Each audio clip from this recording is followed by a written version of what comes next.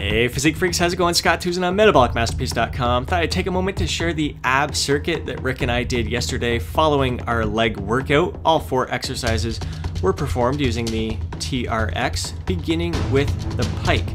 So here you're sticking your butt up into the air and dragging your feet along the floor. I like to really place a lot of force, downward force with my feet, really pushing hard towards the ground as I'm bringing my toes towards my arms. I find that engages the lower aspect of my abs uh, a great deal more. Next, we moved on to the jackknife. You're coming between your arms with your knees and then out to your arms with your knees. So notice that this is mainly, the pelvis is tilting here, which once again um, creates a little more emphasis on the lower abdominals. But I really find that bringing your knees out towards your arms here uh, engages the, the transverse abdominals and the obliques. Um, it's just an overall, uh, it's probably one of my favorite ab exercises. I find it really comfortable, uh, working ourselves up to about 15 reps here.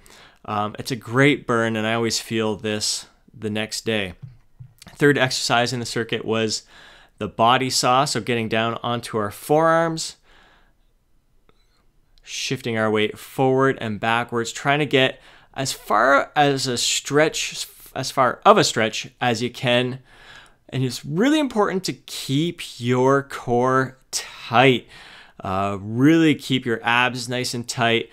I kind of hold my breath when I'm out in that stretched position. Um, you don't want to stay loose. You'll feel, you may feel a little weak in the lower back. So I'm really trying to keep my back nice and flat, not let my hips drop down there in that stretch position, just going back as far as I can comfortably where I keep the tension on my abs. And then the last exercise in the circuit is like a mountain climber.